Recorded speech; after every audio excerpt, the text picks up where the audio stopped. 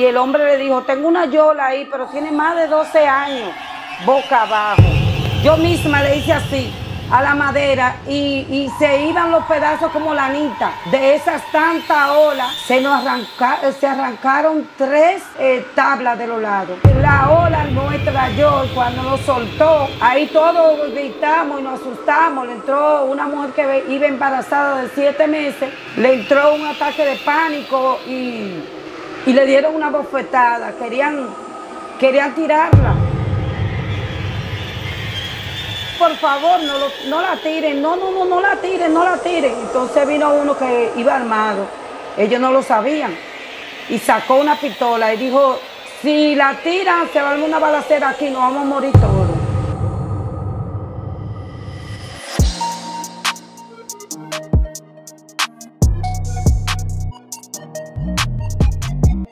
Saludos, ¿qué tal mi gente de YouTube? Aquí estamos en un nuevo contenido para el canal Bajo Presión TV Show. Eh, nos encontramos actualmente aquí en nuestra, nuestra ciudad, nuestro municipio, Higüey, donde nacimos, eh, con una historia más de vida. Eh, la verdad que estuve hablando y charlando un poco detrás de cámara con una persona que detrás de ella hay mucha historia que contar y sobre todo un mensaje muy bonito, ya que es una persona lamentablemente discapacitada porque es no vidente pero eso no, es, eso no quita que ella pueda hacer sus quehaceres y muchas cosas que ella ha podido continuar haciendo.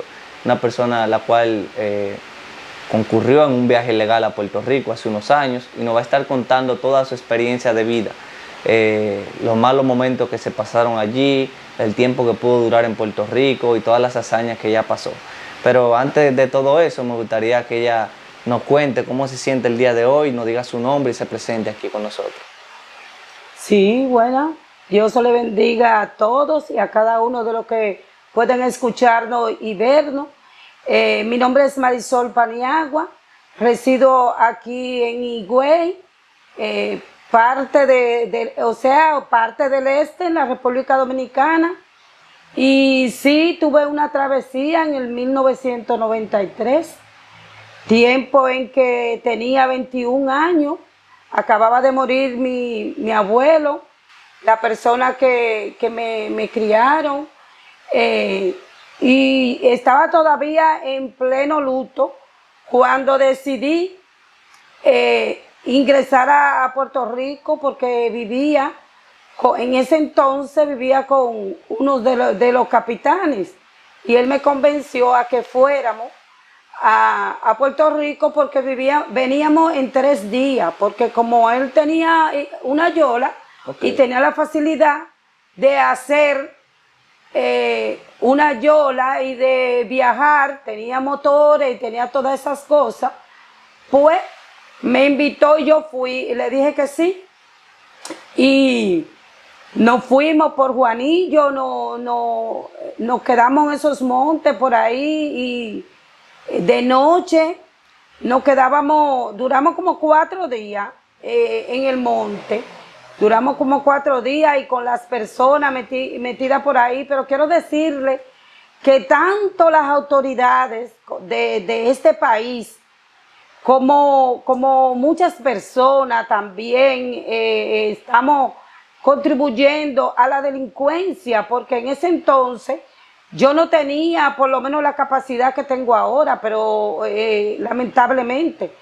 Pero las autoridades de ese tiempo y, actualmente ahora se vendían porque le, quitaron al hombre que era marido mío en ese tiempo, le quitaron dinero por, por la yola, por dejarlo construir la yola. Luego que ya teníamos el, el viaje ya para salir una, una noche antes, o sea, eso fue la segunda noche, claro. Sí, la segunda noche que ya íbamos a salir. Y no, nos cogieron la yola y, la quemaron. Supuestamente ellos la quemaron. Y entonces nos quedamos ya sin yola y con la gente en el, en el monte. Pues luego después él se desesperó y fue donde un hombre que tenía una pescadería y el hombre le dijo, tengo una yola ahí, pero tiene más de 12 años, boca abajo. Esa yola le cae agua, sol y sereno ahí, esa yola está en muy mal estado, no puedo vendértela. Y él le dijo, véndeme esa que nosotros la forramos de fibra de, fibra de vidrio. Y eso hicieron. Y una pregunta, Marisol, disculpe que le interrumpe. En ese trayecto de que le queman la yola supuestamente, porque me imagino que los militares, los marinos se la llevan, Sí. eh, ahí habían personas que ni siquiera eran de ese lugar. Eh, todo ese tiempo en lo que consiguieron la otra yola, esas personas quedaron ahí en el monte Sí. o anduvieron junto con ustedes en todo ese momento. No, esas personas estaban en el monte, habían eh, ahí, ahí como cabañitas, casi, casitas de, de, de madera, en muy mal estado alguna, que, que se le alquilaban a gente, eh, a, a esa gente. O sea, muchas- eso era un puerto prácticamente. en el suelo. Ok, eso era un puerto, una zona ahí donde mucha gente emprendía un viaje y ya tenían esa casetica ahí que, que hasta se la alquilaban a la gente que iban a esperar la yola. Sí, que están ya acostumbrados a todo eso, ya están acostumbrados a, a ver esa, esa situación, porque eso pasa a diario por ahí.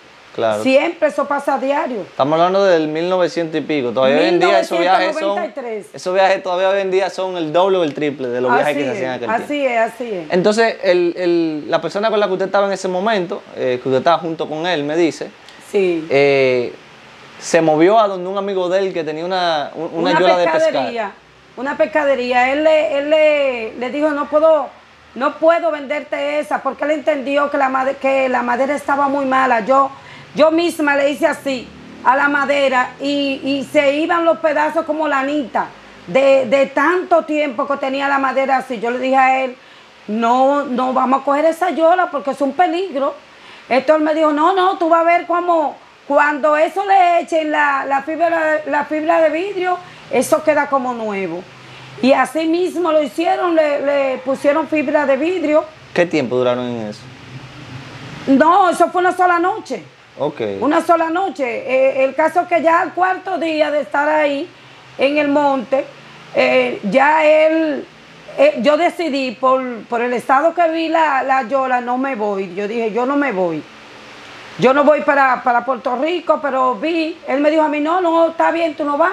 Yo te voy a dar 21 mil pesos que, que me deben algunas personas, que tú sabes ya que cuando van a, a montarse, que dicen, yo no doy mi dinero hasta que no me, me monten, con temor a que lo engañen, porque lo han hecho muchas veces. Ujú. Entonces, eh, él me dijo, yo te voy a dejar eso, ese dinero, aparte de uno que ya me había dado, te voy a dejar ese dinero para que tú te quedes con él aquí en lo que yo regreso a- eh, en tres días. Pues está bien, yo le creí. Y, y cuando él me dice a mí, ven, acércate aquí a la fila, porque ellos ponen una fila para tú, éntrate tú, éntrate tú, tú no, tú te quedas tú así. Es que ellos lo hacen, dejan Sí, mucha sí. gente aún dándole el dinero.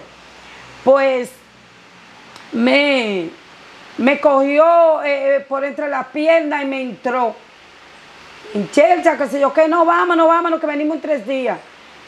Y bueno, el caso que nos fuimos, salimos a la, a la una de, de la mañana, salimos de aquí de, de- del corte- de Juanillo. O sea, al final terminó convenciendo la de que se fue. Sí, y me fui. Y salimos de Juanillo a la una de la mañana. Y encallamos en un mangle que había, había por ahí como a un kilómetro de, ya de, de- tierra, después de haber salido. Y encallamos en un mangle y entonces nos acostamos, eh, amarramos la yola de, de- de un hueco de la piedra y ahí nos acostamos encima de, de penca de coco, muchos mosquitos que había, muchas cosas, y un olor tremendo, nauseabundo totalmente.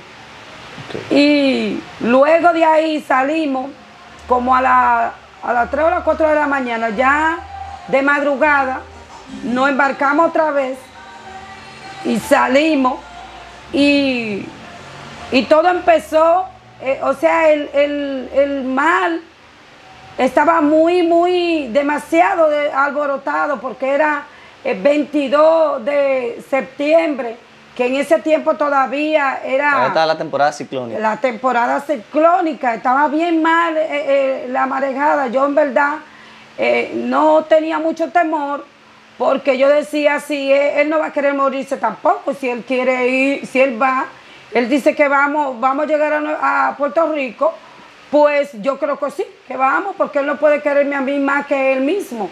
Claro. Yo entendía que sí, que podíamos llegar. ¿Qué tiempo después de que ustedes salen, que se embarcaron ya para salir rumbo a Puerto Rico, empiezan los problemas de la marea alta y todo eso? Bueno, eh, la marea alta empezó, eh, siempre, nunca, eh, nunca dejó de, existir, siempre había, pero en verdad, en verdad se sentía más, era ya en los lugares profundos de, del canal de la Mona en adelante, de ahí en adelante, porque ahí yo recuerdo que ahí en el canal de la Mona hubo una marejada tan grande, una ola tan grande, que nos elevó más alto que un palo de luz, que un poste de luz. Y abajo, cuando yo alcancé a mirar para abajo, se veía como un hoyo profundo. Y, recuerdo que entonces eh, la ola no, no estrelló y cuando nos soltó, eh, ahí todos gritamos y nos asustamos. Le entró una mujer que iba embarazada de siete meses, le entró un ataque de pánico y y le dieron una bofetada, querían, querían tirarla, porque la mujer comenzó a moverse, a moverse, a moverse, y pensamos que iba a, iba a virar la yola. Entonces ya todo el mundo estaba nervioso por todo lo que estaba pasando, ¿tú me entiendes? Y entonces ella venir con ese movimiento y esa eh, lo que era que se, le entró a ella, asustada, no, no, no, devuélvame, quédense con, su, con, con el dinero y devuélvame para allá, que yo quiero quedarme, yo quiero quedarme, pero ya, ya no había salido, ya no había tiempo. Entonces, eh, eh, ya se llegó a un estado que le iban a tirar. Y yo le dije, no, no, por favor, no, no la tiren, no, no, no, no la tiren, no la tiren. Entonces vino uno que iba armado, ellos no lo sabían, y sacó una pistola y dijo, si la tiran, se va a una balacera aquí, nos vamos a morir todos.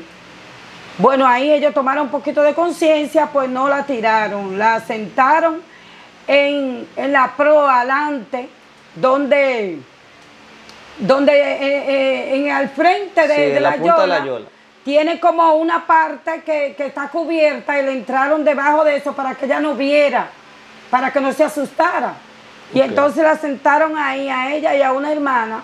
Luego seguimos y de la misma forma, eh, mucha ola, mucha ola, y para allá y para acá, y en una de esas tantas olas, eh, se nos se arrancaron tres eh, tablas de los lados. ya tú sabes, una, una yola en mal estado, con tres tablas que quedaron, gracias al Señor, por eso nos salvamos, porque quedaron colgando de un lado. O sea, se, arrancaron, pero quedaron como pegadas de un lado. Y así ellos pudieron agarrarla y, amarrarla como Dios nos ayudó, porque ellos tenían soga, tenían eh, clavo, martillo, porque sabían la condición de la, de la yola. Sí, por si cualquier imprevisto poder resolver ahí. Exacto. Y amarraron la yola y luego eh, eh, también la clavaron y así sacando agua desde, desde que iniciamos hasta, hasta ya como el desecheo, más para allá era sacando agua, sacando agua, sacando agua todo el camino. Entonces cuando llegamos al desecheo, ahí fue ya lo grande, ya era, ahí era ya casi de noche, era casi de noche. Y eran como la, ya entrando las 7 de la noche, pero todavía en el mar se ve al no haber como, como luces ni nada y, la, la luna nos alumbraba un poco y no había interferencia de árboles ni de nada, pues se veía un poquito más claro. Entonces eh, eh, ahí ellos entendieron de que íbamos a llegar un poco temprano, íbamos a llegar muy temprano allá y las autoridades de allá no iban a detectar porque ellos tienen como los radares, las cosas que tienen, que ellos eh, detectan las embarcaciones. Sí. Bueno, entonces ahí, antes de llegar al desecheo, ellos apagaron la, las, los, motores, y ahí empezamos a, vomitar y eso, nos pusimos las mujeres, todo, casi todo el mundo. Nos pusimos a, a vomitar y bien, bien mal porque al al vaivén de, de, la ola que nos llevaban para acá, nos, tiraban para allá. No, y más todos esos saltos que ya habían dado con esa marea. Exacto, sí, exacto. Y entonces eh, nosotros pensábamos, nos asustamos más también porque no pensamos que era que le habían apagado porque íbamos a llegar eh, temprano, perdón. Pensamos que la habían apagado porque tenían algún problema y nos lo estaban escondiendo, ¿entiendes? Sí. Porque uno ya ahí, cuando uno está en ese, en ese trayecto, uno no confía en nadie. Bueno, pues entonces eh, eh, de ahí prendieron como a la media hora o a la una, a la hora, sí, más o menos, prendieron los motores nuevamente. Y ahí íbamos, arrancamos, cuando ya llevamos como una hora, eh, pude ver el desecheo. Me dijeron, me indicaron el desecheo, donde, qué es lo que era el desecheo. El desecheo es como una montaña de laja, no, no de tierra ni de piedra, no es de laja. Tiene por donde quiera que te pegue, te de barata. Por eso es que todas las yolas ahí es que, ahí es que se, se hunden en ese lugar. Porque a, pesar de que, de que ellos sepan guiar y sepan manejar eh, eh, esos motores, nunca hay, nunca hay certeza de que tú vas a llegar. Porque también hay como una zanja en el mar, que es la unión de dos aguas, la de allá y la de acá. Entonces hay una abertura en el medio que ahí se van muchas, muchas yolas, se van por ahí también, ahí se pierden. Entonces, ¿qué hicieron esta gente? Eran gente muy experimentada, que tenía mucho tiempo ya eh, llevando y trayendo viajes. En ese tiempo ellos eh, llevaban, llevaban, llevaban personas de otros países, no también eh, esta, persona de aquí solamente, de la República Dominicana, sino chinos, llevaban personas de, de haitianos, personas de otros países también que estaban en, en necesidad, igual que uno, o quizá peor que uno, y, se metían en esos viajes. Pero el, fin de, de, todos esos viajes es el de llevarlas. Eso es el fin de cada viaje. El que no lo sepa, que lo sepa ahora. Ese es el fin, se lo digo con toda seguridad. Es el fin de, de cada viaje que la persona estamos engañada. Nos vamos de este país creyendo buscar una, mejoría. Pero caemos en ese trayecto y, ellos antes de tirar una paca de eso, de esa, de, la tiran una persona. La persona importamos menos que una, que una paca de se lo puedo decir yo. Porque yo sé que es lo que, eh, que es lo que estoy hablando y sé que ya lo viví. Nosotros nos fuimos con tres pacas de eso, eh, dos de cocaína y una de marihuana y, es, había personas ya esperándola. Y nosotros ya cuando nosotros decidimos que llegamos a tierra ya puertorriqueña, cuando ya estamos a dos horas por lo menos de llegar, nosotros íbamos a desembarcar por Cabo Rojo. Ahí nos detectaron las la, la autoridades puertorriqueñas y escuchamos cuando venía una avioneta y la avioneta se, paró eh, arriba de, la yola, no cerca, porque ellos temen virarlo, tú sabes, ellos, cuidan sobre todo la vida de uno. Sí. Entonces, ellos eh, dijeron, vamos a esperarlo en tierra. Y se fueron.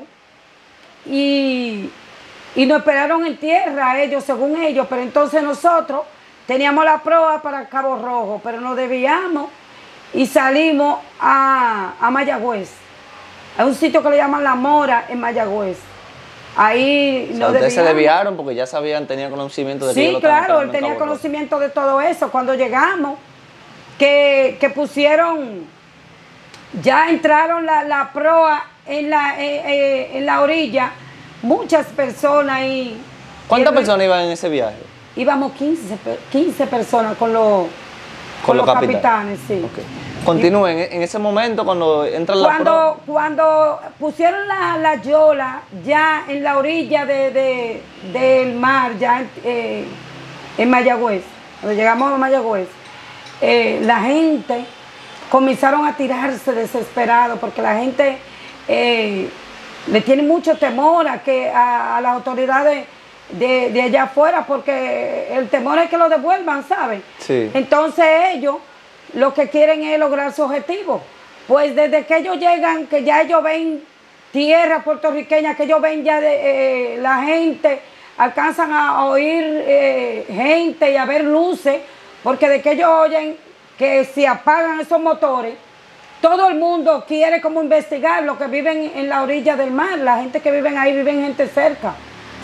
Y, y todo el mundo se tira, pero eh, la, la arena de ahí es como, como movediza, como fangosa, que uno se tira y se entierra en eso ahí, porque e- es una arena como, como movediza, como hueca.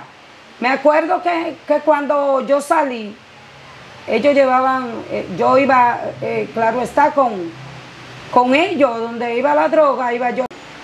Los capitanes eran que llevaban su droga y yo vivía con uno de los capitanes, él era que me iba a buscar a mí el lugar donde yo quedarme. O sea, yo me quedaba con él. Ok. Y ellos llevaban su droga y su cosa y yo iba, eh, yo me fui con unos tenis y iba, eh, cuando entré el pie en la, en la arena, el pie se me fue como a media pierna. Y había unas, unas, eh, como una, una mata que le llaman moribibí aquí. Es lo mismo, pero eh, esas tenían como una espina grande, fuerte y una hormiga que te hacían como una bolita de pus, donde quiera que te picaban. Y, y ahí llegamos, me llevaron a una casa que ya no estaban esperando, que era donde la gente quedaron de ir a buscar eh, lo que ellos llevaban. Y entonces él colocó todas esas personas abajo, porque la casa allá en Mayagüez, la mayoría son de madera, pero tienen como si fueran una segunda planta. Abajo tiene eh, eh, como, como una parte donde ellos eh, descansan. Un sótano. Exacto, como un sótano, pero es descubierto, la parte de adelante cubierta y la de atrás descubierta. Y ahí pusieron a la, a la gente que iban, que, que estaba- iban a esperar a su familia que lo buscara. a Ok, ese nunca se lugar. separaron. Eh, todo el mundo se fue detrás de, de los capitanes, aún se llegó a la, a la tierra. No, sí, claro, porque ellos tienen que llegar a un lugar eh, estable donde entonces la familia viene en taxi o ellos se van en taxi. Ok. Pero ya de ahí, yo no, yo me fui directamente adentro de la casa donde él iba a estar, porque ya yo ando con él, yo andaba con él. Pues cuando llego a la casa, que ya eh, eh, estamos ahí, eh, tenemos ya como media hora ahí, me dice la señora que es puertorriqueña y el hombre era dominicano. Y me dice la, la señora, haga el favor y venga para que me acompañe, que me busca bata y me busca cosas para yo eh, vestirme, quitarme la ropa mojada todo lo que traía lleno de arena. Cuando fui a, me intenté pararme, por poco me caigo, porque el tambaleo de la yola todavía a los tres días yo lo sentía. Ya tú puedes saber al instante de yo pararme como yo estaba mareadita todavía. Y me paro de ahí, yo tenía, eh, me quité, cuando me quito mi ropa y me voy a quitar la ropa interior, fue eso, fue tremendo, tremendo, porque con, con la gasolina y el agua salada, parece que eso eh, yo no sabía, no, no tenía el conocimiento de eso, se botaba mucha gasolina por arriba de, de la barrica, porque era una barrica que llevábamos, y, y eso me, me produjo como una, algo en la piel, el caso que el panty, la piel mía se quedó en mi panty. Wow. Toda mi piel se quedó en mi panty y yo me quedé, ya, ya tú sabes, que yo tuve que, que durar como un mes que no, no me ponía ropa interior. Porque todo, todo mi cuerpo, toda esa parte se me peló y mi cuerpo eh, eh, se, se me irritó de, de toda esa gasolina y todas esas cosas. Duré como un, como un promedio de un mes y algo con ese problema. Pero luego de ahí, eh, me consiguieron, yo, eh, eh, me, me dieron 10 mil pesos el, 10 mil dólares. En aquel tiempo el dólar estaba al 4 por 1. ¿Eso era por lo que ustedes llevaban? Por- No, por- él me lo dio a mí, él le dieron 60 mil dólares. Ok. Y él me dio a mí 10 mil dólares, me dio, para que yo me quedara con eso, porque él iba a regresar aquí otra vez, y entonces él iba a buscar unos chinos y, otra, y, y más droga. Entonces, él me dijo a mí, no es necesario que tú te vayas, porque ellos iban a regresar en Yola, y ellos se iban a, iban a venir para acá en Yola, para no perder la Yola, una Yola que ellos tenían allá enterrada, ¿sabes? La desenterraron y venían nuevamente en Yola. Entonces cuando iban, ya ve- venían eh, para acá, cuando vinieron, llevaban las tres, otra vez tres eh, pacas más y llevaban 10 chinos para allá, para Puerto Rico nuevamente. Entonces lo detectaron y ahí eh, los, eh, los militares de, de aquí de Puerto Rico, ellos se tiraron como con, con una escalera de, de- de soga y eso. Y, y cuando se iban a tirar ellos, ellos tiraron la droga, la tiraron al agua. Entonces, esa gente no son como, como nosotros, como mucha gente que ellos dicen, usted tiene y aunque no tenga, se la ponen.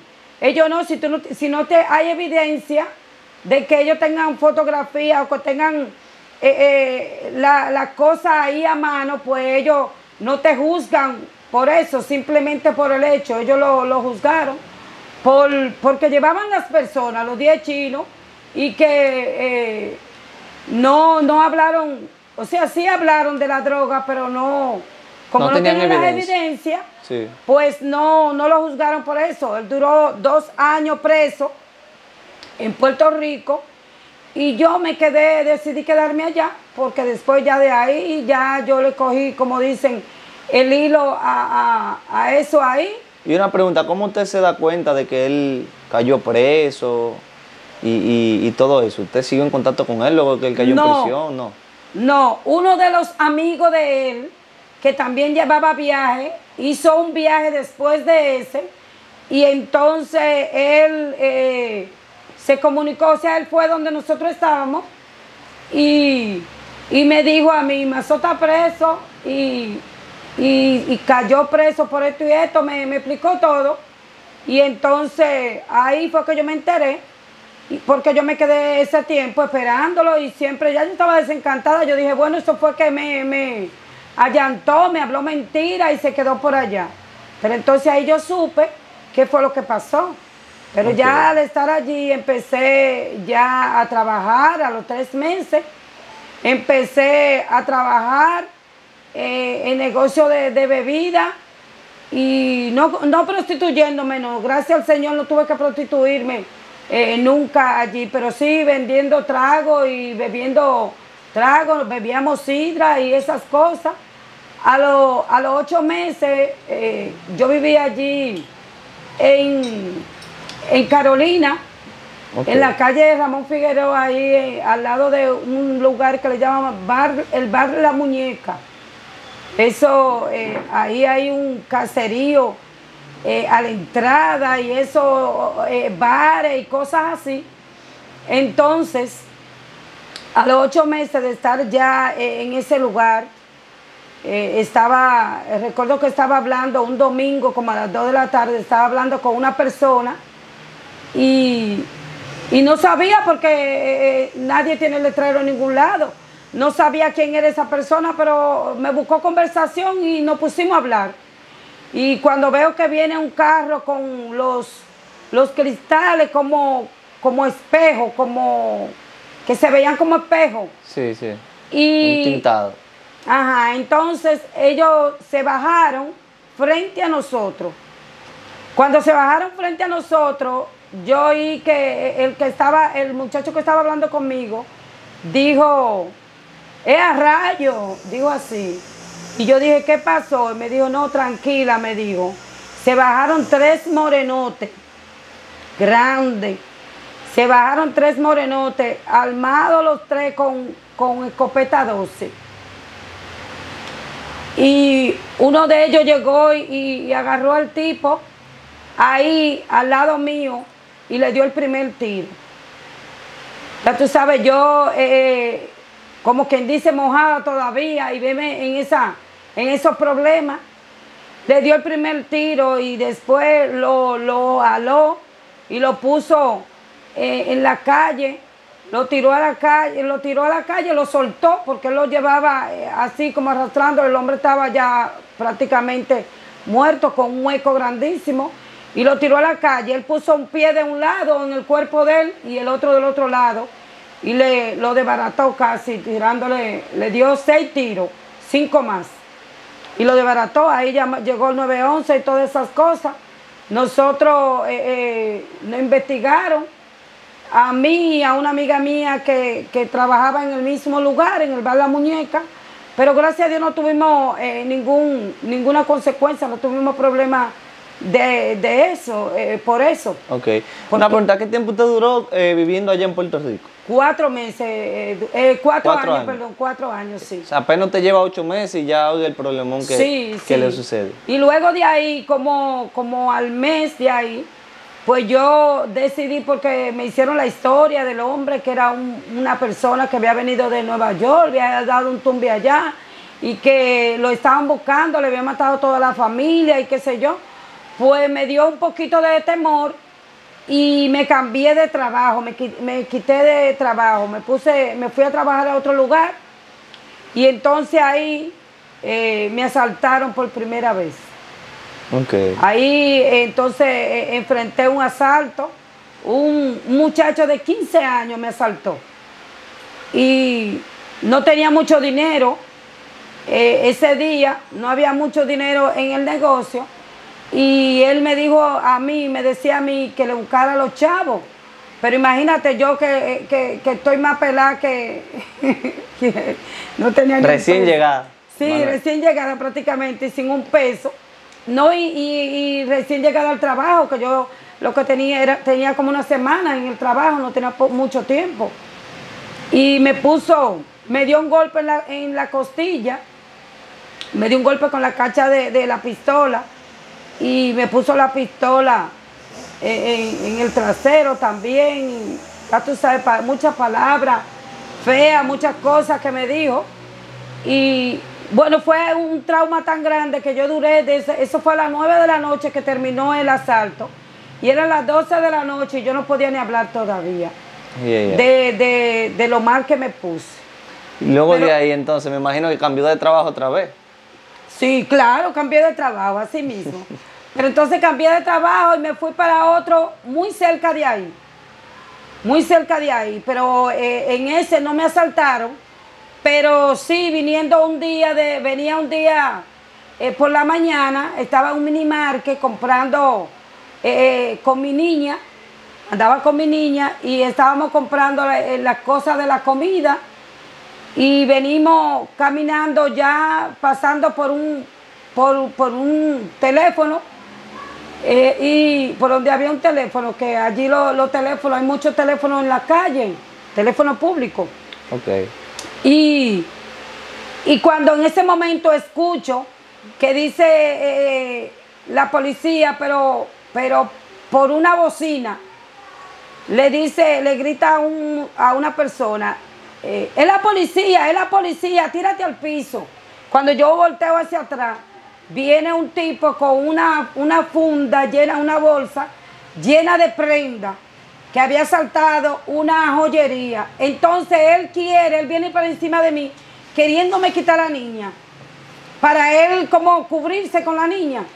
Ya tú sabes ese episodio ahí, como, como yo me, volví como loca y, la policía eh, cometieron un error ahí porque tiraron un tiro que gracias al Señor pegó al teléfono y él como, como pudo, después que me soltó la niña, no tumbó con, porque yo forcejeando para que no me quitara la niña, no tumbó a las dos. Y ahí nos caímos y luego que nos caímos la policía eh, lo siguió y ¿sabe por dónde él se entró? Por donde yo vivía voló la pared, por donde mismo yo vivía, donde mismo yo iba por ahí mismo eh, se entró él y voló la pared del otro lado. Entonces se le cayó una, una gargantilla, una, eh, una cadena gorda ahí, pero la, la policía no llegó a verla. La policía no llegó a verla, eh, la vio una vecina y, fue quien la cogió. Entonces yo pasé mi susto y ella fue quien, quien gozó de, de, la cadena, ella fue quien la cogió. Ok. Una pregunta, eh, ya veo que en, tan poco tiempo que tenía en Puerto Rico le había pasado tantas cosas. Ya entiendo por qué usted en cuatro años decidió venir para acá. Cuando usted dice mi niña, ¿usted tuvo una hija allá en Puerto Rico? Sí. Ok. O sea, usted, usted la tuvo ella allá en Puerto Rico. Ajá, y, la traje para acá y murió a los ocho años. Yo la traje cuando ella tenía dos años y ella nació en el 95, dos años después de yo, de yo haber estado, de yo estar allá, nació la niña y entonces eh, yo vine en el 97. Ok. No, le pregunto porque eh, como no, no me había contado que, había tenido una hija allá y veo que, que ya la está mencionando. Sí, sí. Ok. Entonces, luego de ahí, eh, me imagino que usted continúa trabajando, un poco asustada por todo lo que ya le ha pasado. Así es. Ya, ¿cuál es, cuál es la, gota que derrama el vaso? Que usted dice, ya me voy para República Dominicana porque las cosas que me están pasando aquí ya me tienen asustada y todo eso. Bueno, mi abuela murió y era eh, el sentido, o sea, era lo que le daba sentido a mi vida. Mi abuela había muerto. Y ¿Ella vivía allá? ¿Eh? no, murió. Yo vivía allá y ella, ella estaba aquí y murió de cáncer. Entonces eso me afectó mucho, ya yo eh, en verdad me había desencantado, no quería estar allá, pero los consejos de la gente, incluso los mismos de inmigración me aconsejaban y que no, que aquí me decían que el plátano estaba muy caro y que el pollo estaba muy caro, pero si lo ven ahora se asustan, porque en ese tiempo era como, como no, no, ni mucho menos la mitad. Oh, pero mi, amor, imagínate. Pues bien, y bueno, me, me, quedé por un tiempo más, pero después de ahí, entonces a mi, a mi mamá de crianza, la que me crió, ella eh, le dio también trombosis y ya estaba, estaba sola aquí, estaba con, la otra hermana mía, de, eh, ya una persona que era más mayor que yo y tenía su, su casa y su familia, que solamente ella podía pasar a verla, que no, tú sabes, no, no podía detenerse a cuidarla. Entonces yo dije, yo no puedo eh, permitir que ella muera por, por, como por falta de atendencia, tú sabes. Sí. Entonces yo dije, yo me voy para mi país, total, que yo no, no estoy en muchas cosas aquí, porque este, yo cobraba 175 dólares y 200 dólares en, algún, en algunos lugares y tenía que, tenía que mandar para la, la, cosa, la enfermedad de ella aquí, para el problema de, que ella tenía de atendencia y eso. Y entonces no me daba nunca para nada y yo dije, bueno, pero yo me voy y algo yo hago allá y yo tenía ya 150 mil pesos eh, ahorrado y aparte de eso, que en ese mismo día conseguí 700 dólares, yo dije, yo me voy. Ya compré una carta de ruta y, y terminé de, pagar una sociedad que allá le dicen Sociedad Lozán, Lozán y, y lo cobré y me, dijeron que tenía que esperar un mes. Saqué mi, compré mi carta de ruta y, y tuve que esperar un mes para venir para acá, para la República Dominicana nuevamente. Ok. Cuando usted decide venir para acá, eh, ¿usted tenía algunos planes ya de algún negocio o, usted decidió venir para acá, volver a ajustarse a la vida, a ver qué, conseguía, cómo iba a trabajar para seguir sustentando esos problemas que se estaban dando? No, mi plan era en realidad encontrarme con la persona que, que yo había dejado aquí en ese tiempo y yo como ya después de eso, después que yo estaba sola y todo eso y, decidí venir para acá, yo me comuniqué con él y él me dijo a mí, no, ven, que yo te ayudo. Como yo sabía que él tenía facilidades de conseguir dinero y eso, pues yo dije, me voy. Y él me ayuda ya lo que, lo que me falte a mí, pues él me lo busca y, y aparte de que yo iba a vivir ahí en la casa de mi mamá. Ok. Y así fue entonces. Usted vino para acá, se juntó con él y, y pudieron echar para adelante. O sea, no, no, no nos juntamos en realidad. Él en su lado, yo en mi casa eh, con mi mamá, pero él eh, teníamos como una relación así libre. Él estaba en su lado y yo en mi casa con mi mamá. Pero él me visitaba, me llevaba dinero y, a veces salíamos, durábamos dos o tres días por ahí en, cuestiones de los mismos viajes y esas cosas, hablando con gente y resolviendo esas mismas cosas eh, de, de los viajes. Duramos a veces dos y tres días metidos en esos montes por ahí, que él, él no dejaba de hacer eso y, siempre tenía gente metido en los montes, iba y le llevaban comida y, cosas para que la gente no saliera, no se desesperara, porque eso no es fácil por ahí. Ok. Eh, luego de eso, que usted em, empieza a, vivir la vida, a buscar dinero, todo eso. Eh, sus condiciones, la que usted tiene hoy, ya usted me comentó detrás de cámara, pero la gente no lo sabe, no fue por alguna enfermedad ni algún accidente. ¿En qué momento, a qué edad eh, usted tuvo problemas con su vista, que hoy en día no la tiene lamentablemente? Cuéntenos un poco de eso.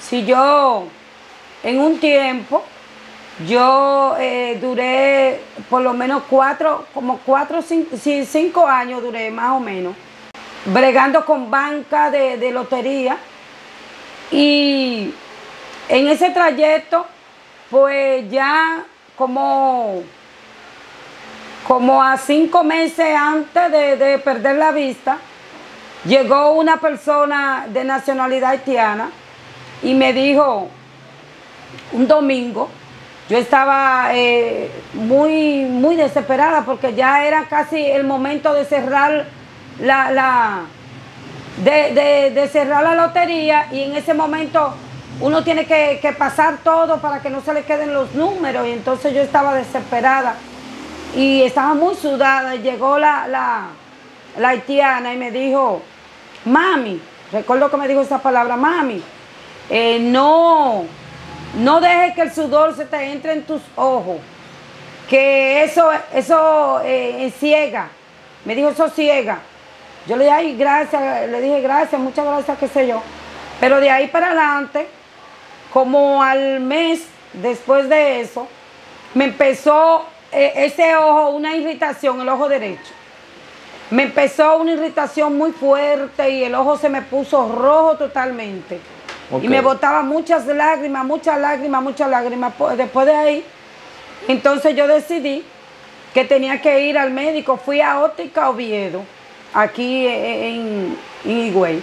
Cuando fui me dijeron que yo no tenía nada, nada, nada en mi vista, que yo tenía mi vista 20-20.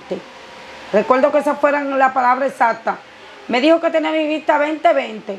Cuando ahí eh, me indicaron unos lentes, 3.600 pesos, y me dijo que fuera un operativo, que venían unos médicos, unos coreanos, y a la óptica americana y que ellos podían darme como un diagnóstico mejor. Pues si me seguía el problema, así mismo lo hice, fui. Cuando fui, me dicen uno de los médicos, eh, me hicieron unos estudios más profundos y eso, y me dice uno de los médicos, eh, ya yo siendo cristiana y, y, con mi esposo, me dice, yo tenía a mi esposo, yo vivía allá con el papá de mi hijo, y me dice el doctor, eh, doña, ¿usted tiene esposo? Yo le dije, sí. Y me dijo, pues mire, eh, no creo que sea usted, me dijo, porque usted es una persona cristiana, pero averigüe que su esposo le está siendo infiel. ¿Y por qué? ¿Qué tiene que ver los ojos y el análisis que usted me está haciendo con eso? Me dijo, porque usted tiene sífilis.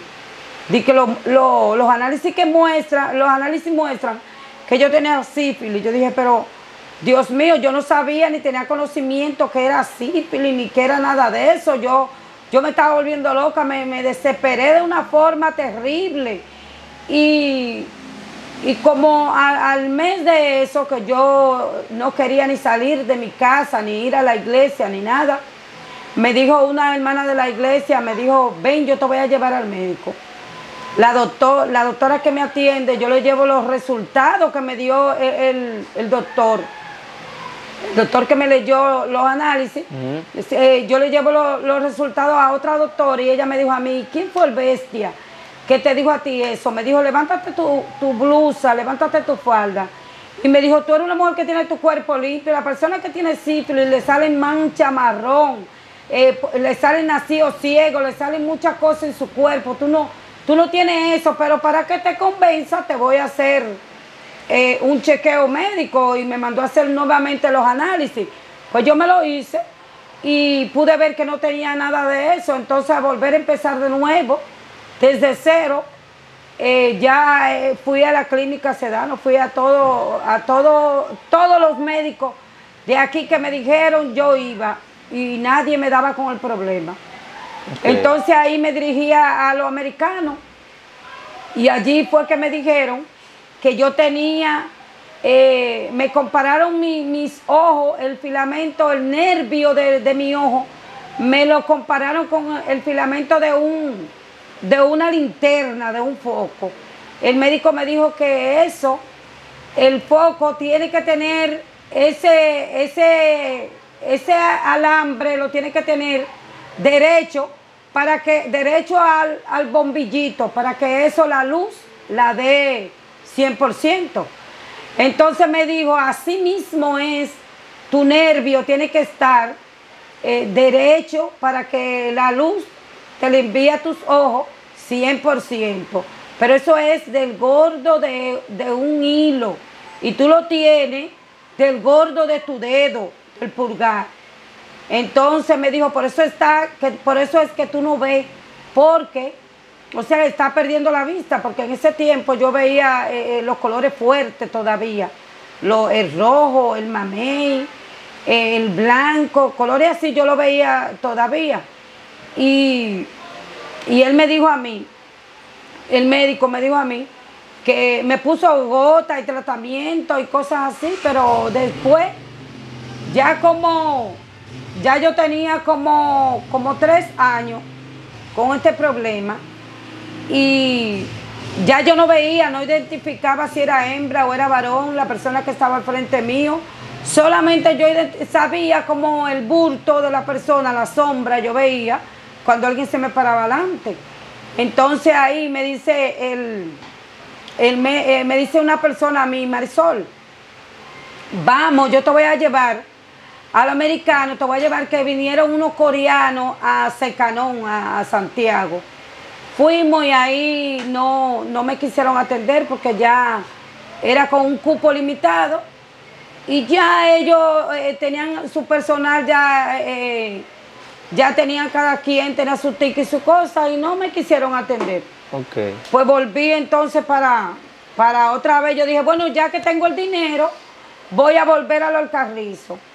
Cuando volví fui con un especialista, el, especialista me dijo a mí, ese fue el día de, mi diagnóstico definitivo, el especialista me dijo a mí, eh, no, cuando me chequearon me dijo, no, ya tú no tienes solución y me dijo, y en seis meses hay que sacar, estirparte los ojos. Hay que sacártelo. Yo dije que me van a sacar mis ojos. ¿Cómo que me van a sacar mis ojos? Yo le dije, mentira, diablo, el Señor te reprende en el nombre de Jesús. A mí nadie me va a tocar mis ojos, porque yo pensaba, yo dije, ¿cómo, cómo yo voy a llorar entonces? ¿Por dónde me van a salir las lágrimas? Porque entonces me van a tener, eh, eh, me va a quedar ese hueco vacío. ¿Por dónde yo voy a llorar? Mm. Y, salí corriendo de aquel lugar, salí corriendo desesperada, llorando, llorando. Cuando mi esposo me ve, me dice, pero ¿qué, qué te pasa? ¿Qué te pasa? La tía de él fue quien le dijo. Yo vivía en ese entonces en Los Carrizos. La tía de él fue quien le dijo a él eh, lo que pasaba. Y él me dijo, a mí no te preocupes, que yo voy, me voy a arrepentir y mi hijo también. Me dijo, me voy a arrepentir para que el Señor te haga, te haga un milagro. Y, desde ese entonces, pues, nos pusimos a orarle al Señor y a creerle a Dios. Y gracias al Señor, mis ojos, porque Él decía que me iban a doler tanto que se me iban a explotar. Entonces yo no iba a aguantar eso y podía morir. Entonces, por eso era que ellos querían estirparme los ojos. Y, puedo decirle y darle testimonio a muchas personas que quizás eh, por este medio pueda, pueda verme o escucharme. Personas que no sé si crean en Dios o no lo crean, pero Dios existe. Y es un Dios milagroso, un Dios de poder, porque eh, conmigo eh, ha hecho maravilla a mí, aunque todavía yo no vea, pero el dolor y, la, lo más grande que yo me encontraba era una, era una persona que no tuviera eh, los ojos. No solamente el no ver, sino el no tenerlo, porque eso es algo como muy triste para mí. Una persona que, tenga esos huecos así, vacíos. Y yo pensaba cómo yo voy a llorar y, me iban a coser los párpados yo decía, yo no, voy a poder soportar eso. Entonces después de ahí, pues yo puedo decirle y testificarle que nunca jamás me, me, han dolido mis ojos. Mis ojos nunca me han dolido, nunca, nunca. Y terminé de perder la visión. Ya no veo nada, ni veo luz, ni nada. No he podido volver a trabajar, pero le doy la gloria a Dios que conozco del Señor y, y el Señor me ha dado mucha paciencia, me ha preparado no, y que, y, que, y que al final hubo un milagro, porque según los pronósticos era que usted no iba a aguantar el dolor hasta que los ojos solo se le iban a estrellar. Así es. Y hoy en día usted por lo menos tiene sus ojos ahí, como usted dice, aunque no tiene la visión, pero no se dio eh, ese pronóstico que habían dicho los médicos. Así es. Así es. Yo le doy la gracia a Dios por eso. Y hay muchas personas que hoy en día eh, caen en depresión, perdón, caen en depresión porque tienen una discapacidad, ya sea visual o, motora o, de alguna parte de su cuerpo mutilado, que han tenido cualquier eh, mala experiencia y personas que caen en depresión, personas que no se aceptan a sí mismos. Y yo, a mí me gustaría, eh, no sé si en otra ocasión o por otro medio, pero también darle a entender a esa persona que nosotros no somos personas por un miembro de nuestro cuerpo. Nosotros tenemos muchos miembros más que funcionan. Que no solamente porque yo no tengo la vista. Hoy en día no tengo la vista, pero tengo mis manos. Tengo eh, mi olfato, mi gusto. Y puedo pensar, gracias al Señor, pienso, analizo las cosas, puedo caminar, y puedo atender mi familia, aún así con mi discapacidad yo puedo atender mi familia y, puedo hacer muchas cosas, yo lavo, cocino y hago todo. Entonces tú que has perdido un miembro de tu cuerpo, no te encierres, acéptate, a ti mismo, porque eh, Dios es misericordioso y Él te dará la solución, porque Él permite los procesos, Él lo permite, pero también te da la solución de cada cosa. Okay. Marisol, Usted sabe que en el mundo de las redes se da muchas cosas. Me gustaría que de una manera u otra la persona pueda contactarse con usted.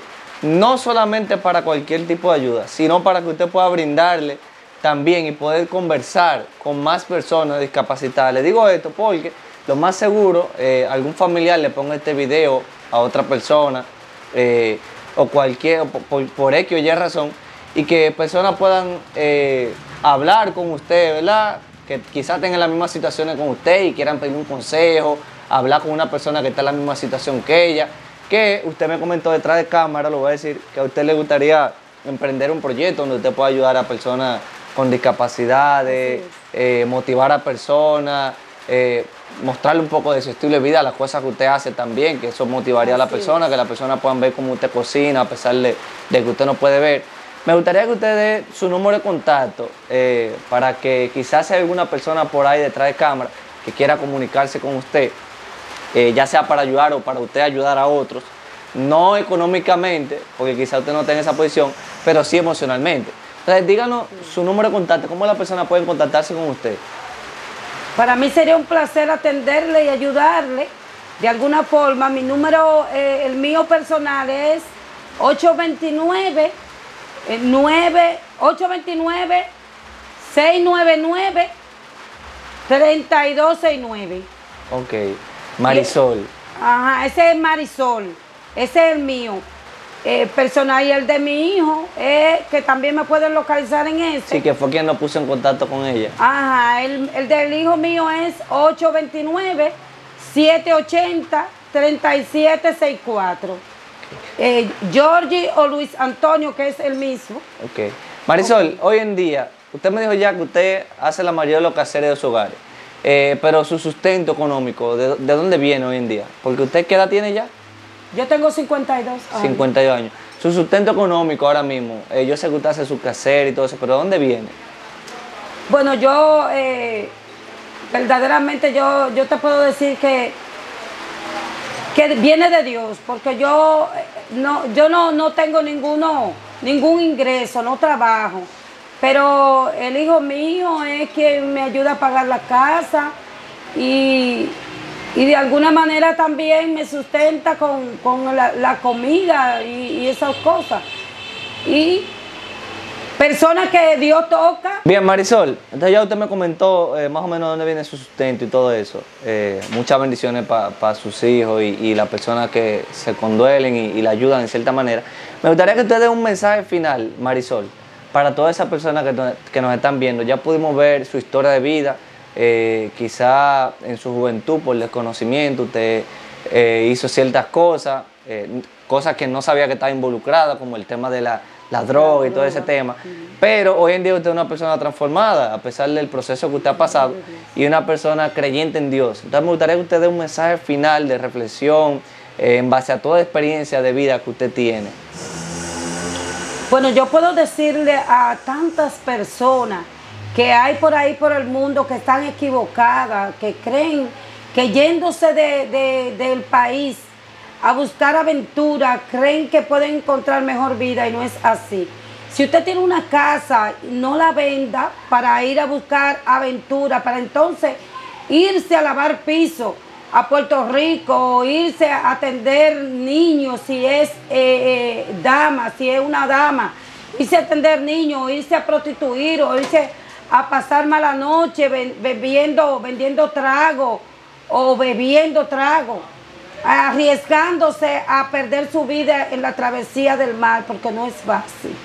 No es fácil a morir en un asalto de eso o, o en cualquier problema, porque allí eh, te matan y asaltan a la luz del día. Toda hora cualquier niño, cualquier chamaquito tiene una pistola. Entonces yo le voy a decir a cualquier persona que tenga eso en proyecto o que ya lo ha hecho y, piense hacerlo de nuevo, que no lo haga, que no lo haga, que usted tiene eh, un, unos tiene un dinerito por ahí, mejor póngase a vender cualquier cosa aquí en su país, que trabajando honradamente uno puede llegar. Uno, hay muchas personas que hoy son empresarios y empezaron desde cero. Entonces, eh, puede, eh, puede una persona empezar desde cero y llegar a 100, sí puede, sí puede. Todo es que siempre poniendo a Dios delante, siempre con un corazón limpio, con que tú no quieras ambicionar lo ajeno y las drogas no dejan nada, nada, nada, nada, siempre termina muerto. Entonces, también te digo, a ti, a, a- a ti que me está escuchando, a ti que me está viendo, que si has perdido cualquier miembro de tu cuerpo, acéptate porque eh, no somos solamente un miembro, somos personas con capacidades y mentalidades para poder hacer muchas cosas. Nada, que Dios los bendiga a todos. Y en verdad eh, ya saben cómo localizarme. Si quieren localizarme, estoy presta y dispuesta eh, para hablar con ustedes y para, para que sigan conociendo parte de mi vida. Claro que sí. ¿Cómo que tú te llamas? Luis. Luis, le damos las gracias a Luis, su hijo también, que fue la persona que nos puso en contacto con usted, Marisol. Más que agradecido, de verdad que sí, por la oportunidad que usted nos ha dado Es de poder placer. conocer eh, su historia, por recibirnos aquí en su hogar también. Eh, le deseamos muchas bendiciones, mucho éxito y a la gente le invitamos a que contáctense con Marisol. eh, para lo que ya yo antes he mencionado, denle like a este video, suscríbase al canal, active la campanita y sigan esperando más contenido de nosotros. Esto fue todo por hoy, esto fue Bajo Presión TV Show.